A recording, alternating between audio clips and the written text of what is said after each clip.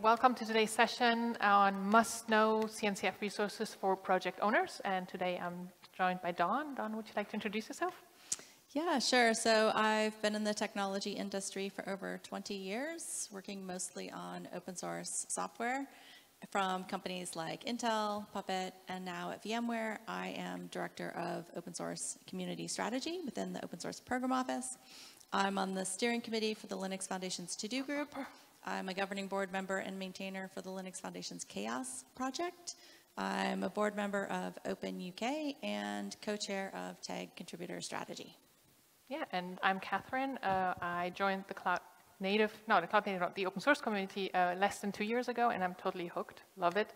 And I work for Buoyant, the creator of Linkerd, where I work very closely with our end user community. And I'm also the maintainer of the Cloud Native Glossary. So as mentioned, we're going to talk today about CNCF resources for project owners. But before we uh, do that, let's talk about why we do a toolkit, uh, why we need a toolkit at all, right? Uh, because maybe you're thinking if we have great code, that solves a real pain point and have docs, isn't that enough? Um, but it turns out, of course, that is the basis, that's the foundation, but there is a lot more to it, right? And if you'll join tomorrow's keynote, you'll hear that um, project is very much like a lemon tree. It needs uh, time and care to bear fruit. Uh, so let's have a look at all the different things that a project need that may not be that obvious, but are very, very important. So here you see a lot of things, right? You see governance, user recruitment, marketing, events. It's kind of overwhelming. And the CNCF does help with some of this, right? You get marketing support, PR, and infrastructure tooling, but what about the rest? Yeah, you're a developer, you're not necessarily uh, good at recruiting uh, contributors or motivating them. So how can you possibly do all these things? Um, and the good news is you don't really have to figure it out all by your own because we're open source, right? We are uh, a community, it's all about community and it's not only within your project, it should be across projects. And the CNCF is our common home, right? And it really provides this great platform for us to connect uh, and learn from each other, exchange ideas, and really create this thriving ecosystem of successful projects. And that is really what the TAG contributor strategy is about. So we're a group of people from a variety of CNCF projects that are committed to helping projects succeed. By maintainers for maintainers, we define strategies to build, scale, and retain contributor communities. So if you're a project maintainer, we definitely should connect. You can either join the effort or uh, just use the resources. And um, so let's have here a quote from one of the people uh, of your peers who has been using it. So Dipti uh, from the Vitess team uh, said that uh, the tag was very, very uh, useful when they set out to restructure their government's um, governance um, system. And um, so, yeah, let's have a quick look at what the tag contributor strategy um, offers overall. Like there are three main buckets. Uh, once you have the maintainer circle, these are regular events where maintainers meet to discuss uh, how they run their projects, to exchange ideas. These are super valuable uh, ways to connect and, and learn from one another, and, and you should definitely uh, attend. Then there are like informational and training resources. These are like things like guides, tutorials, best practices, templates, and strategies to, for building um, uh, contributor communities. And then just general guidance on how to um, engage with your contributors. Um, so first thing you should know is there is a website. Uh, here you'll see two uh, options, right? One for maintainers and one for contributors. And on the maintainer side, you will see all the available resources that we'll discuss today. And again, these are developed by maintainers for maintainers. Um, under community, you will see three different resources. One is the community CRM runbook, uh, project health, and contributor growth framework.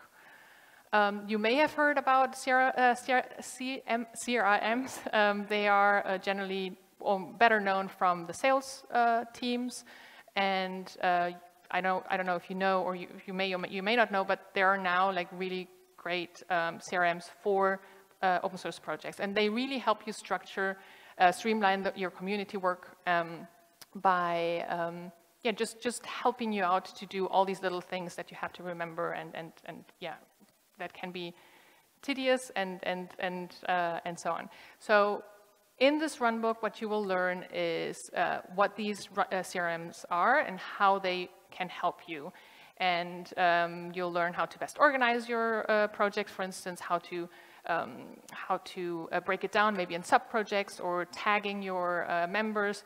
Uh, you may have a member um, a community member who likes to code in a particular language or has a very particular use case or would like to, or is interested in speaking about your project, right? And um, so by tagging them, maybe let's say a year from now, you uh, need someone with that skill set, you can easily find them because obviously we cannot remember all these conversations. Probably whatever you had, whatever conversation you had like two months ago is probably very difficult to kind of remember afterwards. So like keeping that information and, and, and organizing that is very helpful. Uh, and then, of course, like keeping all the interact, like history of all interactions, right? Like you're probably interacting with a lot of your um, community members on Slack. That is all suddenly lost. You can keep a record of that, search for that, uh, which is also very useful when you want to go back or kind of search for a certain um, a conversation or a certain topic. And then you can automate a lot of tasks. For instance, uh, um, a tweeting, like uh, sending a tweet thanking a contributor each time a PR is merged, um, or um, set reminders for things that you have to do regularly. Then there's a project health measurement doc, which uh, where you will learn how a healthy project looks like, uh, how to measure project health, and most importantly, how to make sense of all the dev stats that you get. We hear a lot of people have like find it very confusing. Uh, so there you learn all the, like you, you kind of know how to navigate those stats. And then you'll learn uh, about things how responsiveness impacts, uh, impacts project health, how uh, to interpret contributor activity, and uh, even contributor risk. So if that's something that you're interested, really check that out. There are lots of great information in here. And the last one is uh, the contributor growth framework. This is a document where you learn, uh, you get a lot of tips from project maintainers on how to motivate and keep your um, contributors motivated, how to incentivize them to do more, and how to encourage non-code contributions. These are somehow very fluffy things, uh, a lot of it, but they're, they're really what the things that make your community stick. So some of them may feel very obvious, but sometimes it's good to really hear it from maintainers and how they, they handle all that. Okay, so we also have a governance section on the contribute, contribute site. So governance is all about alignment and getting all of the various people within your community collaborating together. And it's one of those things that you may think you don't need until something has already gone wrong. Expectations aren't aligned, you're seeing unhealthy dynamics within the community. Governance helps outline the expectations around roles and responsibilities along with the decision-making processes. So it's important to have at least these basics around governance in place as early as possible. In the governance section of contribute.cncf.io, we have several guides published. And the tag is always working on more. So for starters, the overview section talks about the what and why of governance, along with roles, policies and procedures, and how to document your governance. Having a charter will help people understand the mission, scope, and values or principles to avoid issues and misunderstandings that might come up later. The overall cloud native, native ecosystem is super complex with many, many projects containing overlapping functionality. So this can help end users understand how your project fits into the overall ecosystem and what functionality it has compared to all of the many alternatives. Now the charter section of the website has details about how and where to include this information, and we have links to examples from other existing CNCF projects that we think have done a nice job in documenting some of these areas. Now the CNCF does not require projects to have any specific governance model, but by the time a project gets to the graduated stage, and frankly, hopefully way before that, the governance process will need to include details about how leaders are selected. Our biggest piece of advice is that your process for selecting leaders should be appropriate for the size and type of your project. For example, small projects do not need elections to select leaders from three maintainers. Now, the good news is that TAG Contributor Strategy, we are here to help you put all of the pieces together to make leadership selection and other governance documentation easier with governance templates that any project, CNCF or otherwise, can use. You can clone the repo linked on the slide and just copy the templates that you need over to your project. Right now, we still have the comments. They're embedded in the Markdown file with details about what pieces you need to update. But we're in the process of actually moving those out into separate, more detailed how-to guides to make them easier to use. Now, right now, we have three governance templates. All of the templates contain a section about values, but the rest of the template varies depending on how your leaders are selected. Now, maintainer is by far the most common, especially for small to medium-sized projects. In this governance model, existing maintainers are responsible for selecting new maintainers. Elections are commonly used for larger projects like Kubernetes and Knative, who have things like elected steering committees, technical oversight committees, those sorts of things. The sub-projects template is, is pretty niche, and it's actually only used in cases where you have kind of a bigger umbrella project with smaller sub-projects that operate mostly independently. Now we also have several contributing templates, including a contributing.md template. We also have a reviewing.md template that contains a reviewing guide that your project can use to provide information about the reviewing process for your project.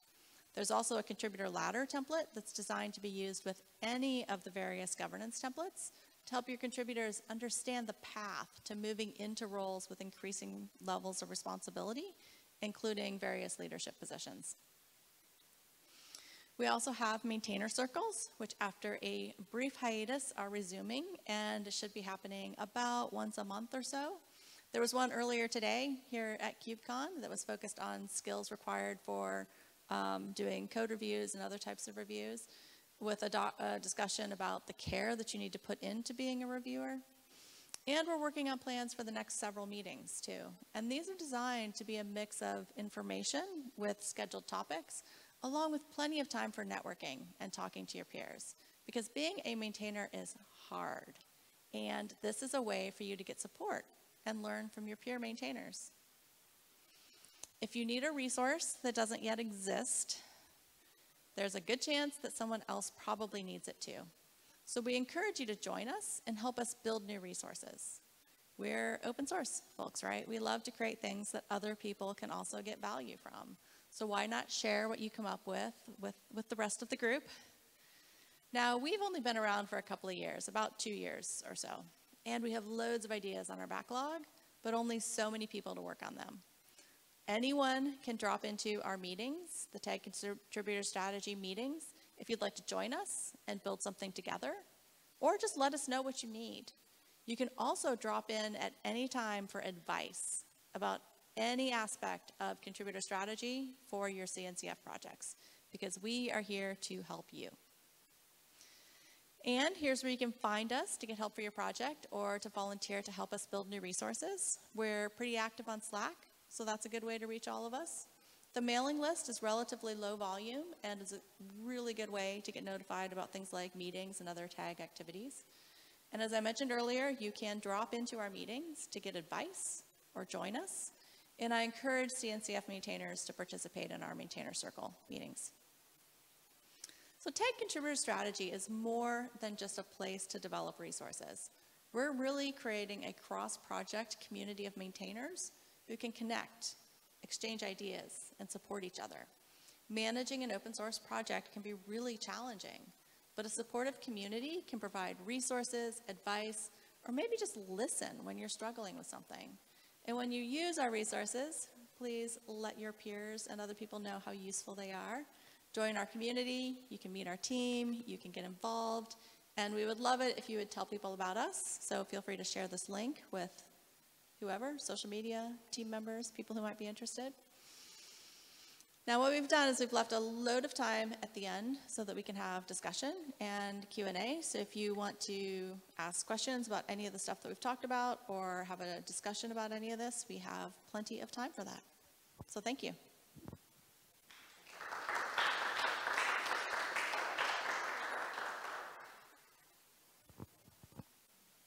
Questions? Yes. Do you want the microphone? Or is it quick? No, it's, we have a, we have a being recorded. So either I can repeat it or you can, yeah. There we on? go. It should is it on? on. I think he'll turn it on in the back. Maybe he'll turn it on in the back, I think. He's turning it on right now. Nope. Okay. Just go ahead. I'll repeat your question while he sorts out the microphone. So you mentioned the CRMs and stuff like that for the product governance. Um, is there examples of that, concrete examples of that? If you could follow that example, like is there an existing project that's already using it? We could see how they laid out the project and we could want to uh, learn from it. Um, Well, the question was regarding examples for the uh, CRM, uh, CRMs. Um, So I, well, basically the run book is, so I don't, I don't have like a particular project in mind. I know that several are using it, but I don't, yeah. But the CRM, basically what it's doing, we kind of got feedback from different, different people who are using it and to give advice on how they're using it. So, yeah, I think like that it's embedded in there, and like I'm sure we can get some some names and, but I, I yeah. But the idea of the run book is basically that. So so you have the CR, uh, CRM that you can use, but then you also get like how different projects have been using it specifically, and yeah. I muted myself. Yeah, the CRM runbook, which is what I'm not showing at all on the screen um, because it's in the wrong window. Um,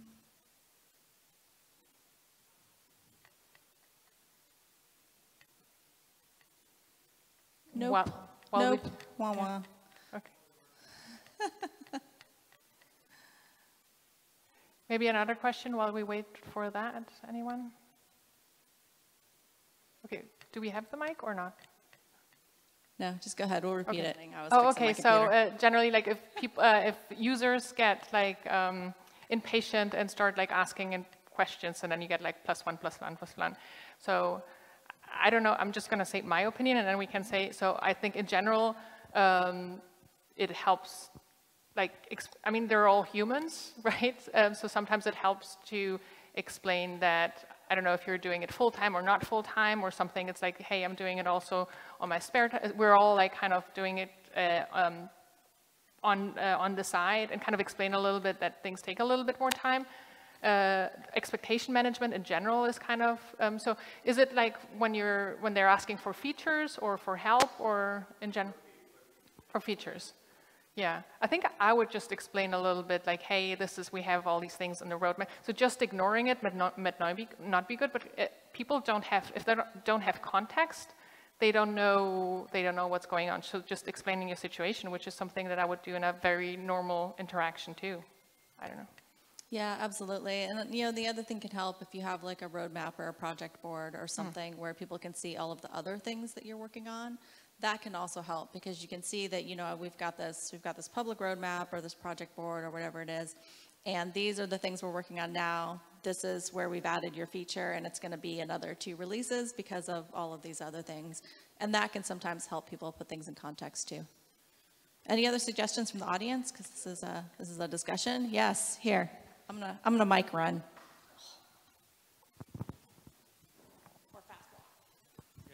One thing we've done is offer them the contributor's guide in terms of here's how you could contribute a patch. Here's kind of maybe have a mentor that's on the team that could help them and say if you're interested and really want it, then this is kind of because basically you can't do it all and, and if you're really busy sometimes it's like we will gladly help you maintain it or at least implement it so that's another way of kind of suggesting to them if you really, really want it that bad, then maybe contributing to the project could get it in faster.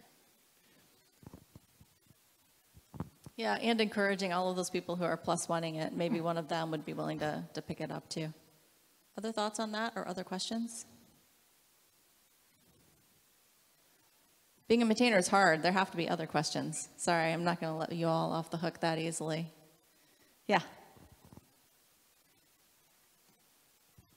So in this talk that I am seeing on the screen, I see that there's a something about gifts or stuff like that. Does does that mean when we have a CRM, we could actually maintain a list of people's contact informations in there for future interactions? Is like, is that something we could do? It's not necessarily contact information. So it does pull information from Twitter, Slack. So it's not like that you get their emails or anything. So it's not like a sales uh, CRM, right? But um, you want to have a full view of what people have done. You know, like what what what what they have said in on on on uh, in your uh, Slack integration. So you have you, it starts creating profiles based on how people have interacted with your project. So, but it's not supposed to be uh, something where you start emailing. So that's kind of like the difference because it's like for, yeah.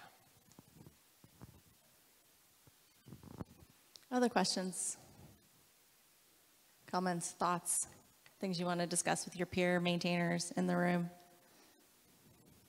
Or something you're struggling with right now.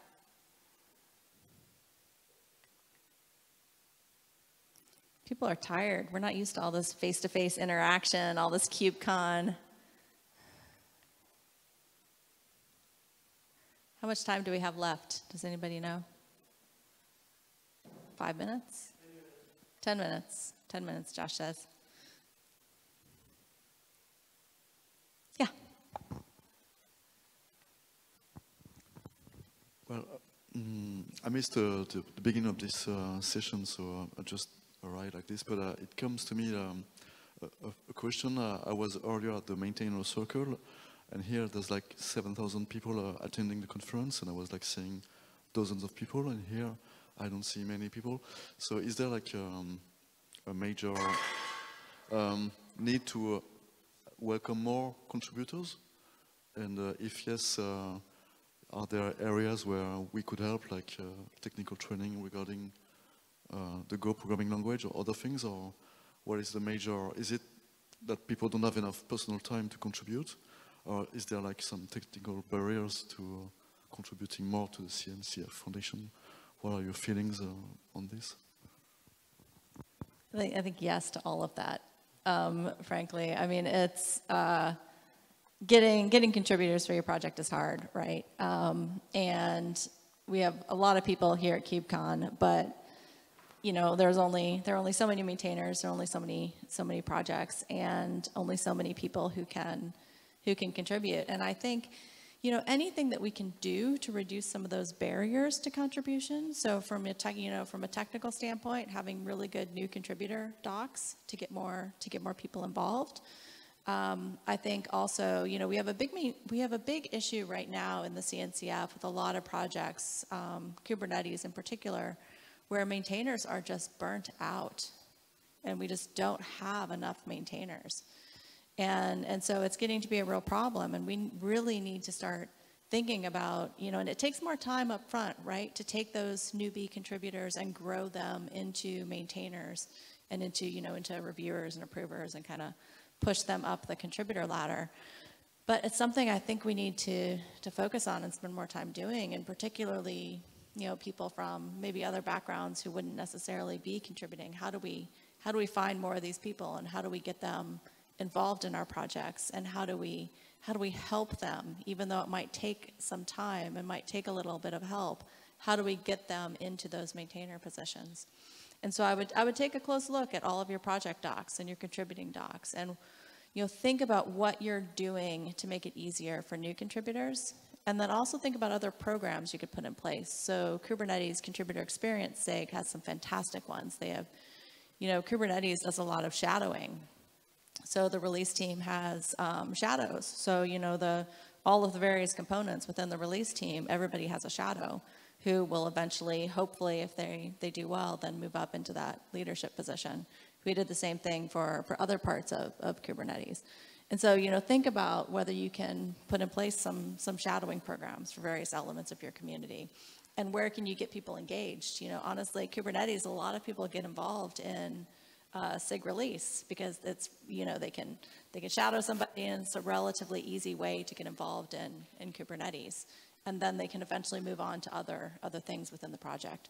So think about anything you can do to kind of reduce those barriers. Comments on that? What's on that? Losing my microphone. Yeah. You have a comment, and then Tim has one. One thing that I've noticed, I don't know if anybody else agrees, that um, the maintainers of not the actual Kubernetes itself, but the other sub projects don't get really recognition. Uh, and it's a really hard job to do, and it's, most people do it out of passion. They could do it out of passion for two, three years, but if they keep doing it, they'll burn out eventually. And uh, one thing I think I, is missing that uh, we could give them a little bit more recognition, especially they could use that recognition in their day jobs to get their uh, career growth goals as well, because they would see their colleagues in their companies would, you know, get better career growth results than they are doing with the maintainers. So I think, I think uh, we are missing something on recognizing the maintainers of not the actual Kubernetes, but the other sub projects. Yeah, that's a really good point. I mean, anything that we can do to recognize the maintainers that are keeping all of our software running, I think would be helpful.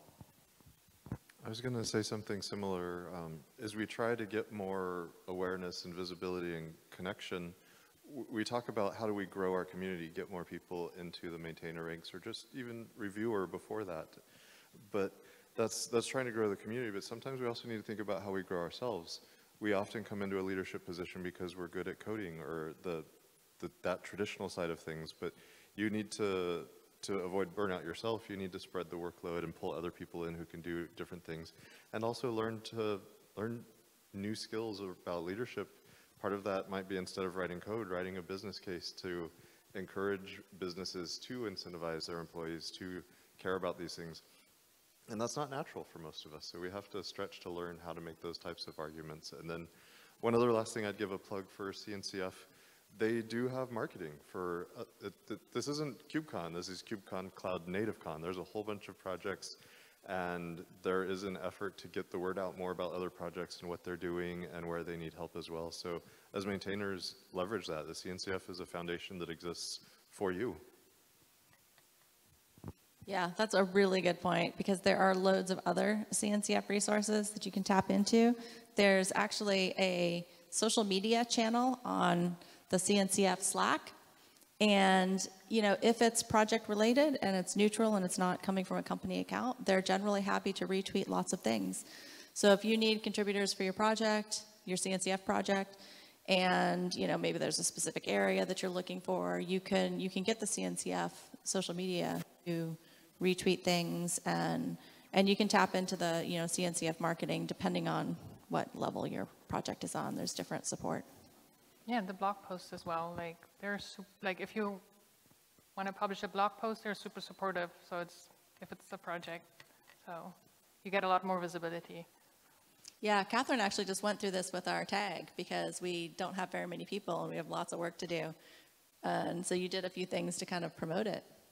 Yeah, just like, I mean, like, just reach out to them. They're, again, they're super supportive and said like, hey, can we do a blog post? And then they, they got us lot, lots of opportunities as well, um, yeah, to just get a little bit more awareness. So they are very helpful. You just have to reach out. They just may not know that you need them right now. So I think the marketing and PR are the two areas where you can do a lot with them, and they can do a lot. They can help a lot.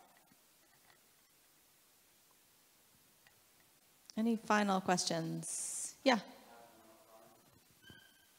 I'm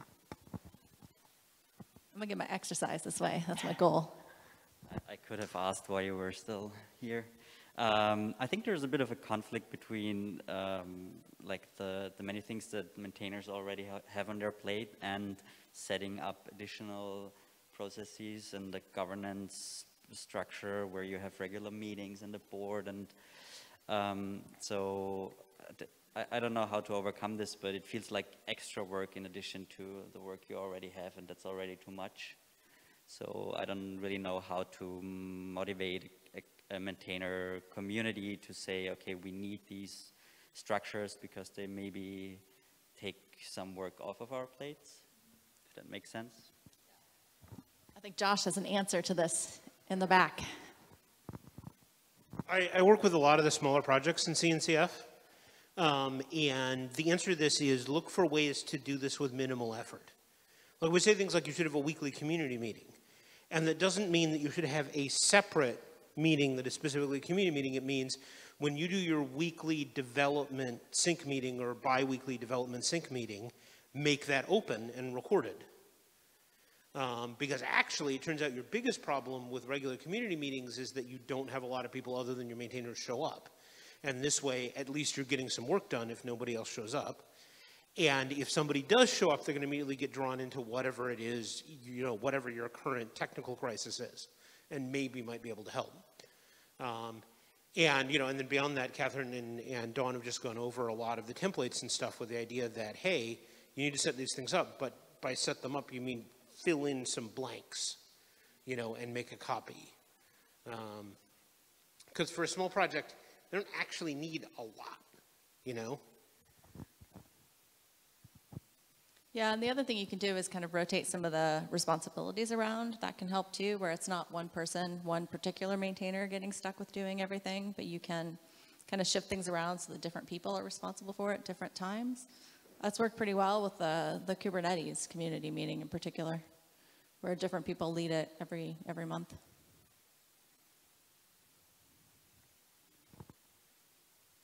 Any last questions?